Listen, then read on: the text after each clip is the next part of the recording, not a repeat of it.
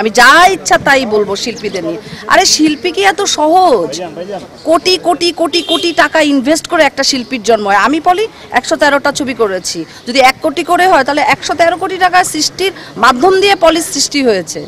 একজনের কথা আমি শুনেছি যে ওনাকে কোনো একটা কোনো একটা ফাইভ স্টার হোটেলে থেকে তাকে মানে তাকে সে প্রবলেমে পড়েছিল সেখানে যে তাকে সেখানে আমাদের সমিতি হেল্পিংয়ের আটকিয়ে রেখেছিল, তাকে হেল্পিং আমাদের শিল্পী সমিতির মাধ্যম দিয়ে সে সেখান থেকে ছাড়া পেয়েছে। তাকে কিন্তু এত বড় উপকার করার পরেও সে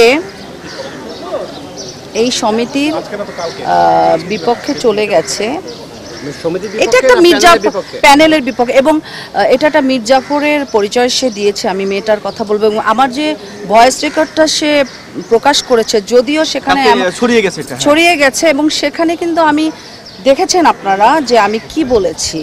কি বলেছি জানেন? বলেছি যে আমার জন্য যে মাজা পানিতে নামবে আমি তার জন্য গলা পানিতে নামবো। তো এই মেয়েটা আমার নিজের চোখে দেখা নিপুণ আক্তার তাকে তার বনানী টিউলিস, নেইল অ্যান্ড স্পা থেকে নিজে গাড়িতে করে পিকনিকে নিয়ে গেছে। জায়েদ খানের সময় বলেন, বিগত যত পিকনিকে দেখেছি, এই টাইপের শিল্পীদের কিন্তু স্টেজে উঠতে দেয়নি। গান তো গাওয়ার দূরের কথা। সামনের সারিতে তো বসা দূরের কথা। ডিভাইডেশনটা ছিল কিন্তু।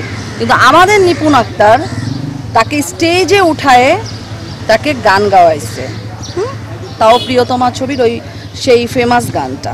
তারপরে সে রিপিট আরেকটা গান গেতে চেয়েছে, কিন্তু তাকে বলা হয়েছে, তুমি বসো। আমাদের যে এমপি স্বনামধন্য এমপি ইলিয়াস মোল্লা, সে গান গাবে।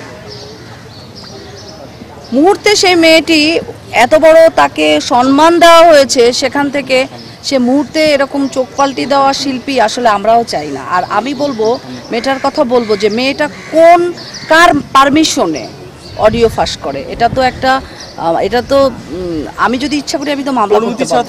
ক্রাইম সাইবার ক্রাইম এটা তো একটা সাইবার ক্রাইম এটা তো একটা সাইবার ক্রাইম এইটা তো ওই মেয়েটা করতে পারে না।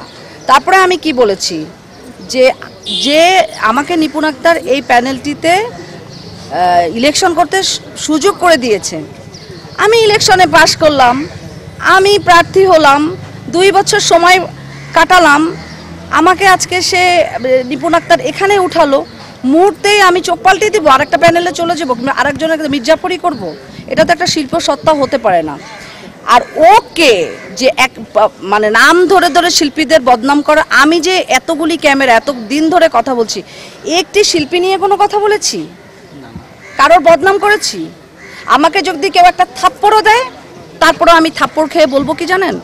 কোনো সিনিয়র শিল্পী যদি আমাকে একটা থাপ্পড় দেয় আমি থাপ্পড়টা খেয়ে বলব, উনি থাপ্পড়টা দিয়েছে, ঠিক করেছে। কারণ আমি আমি কোনো অপরাধী হতে পারি।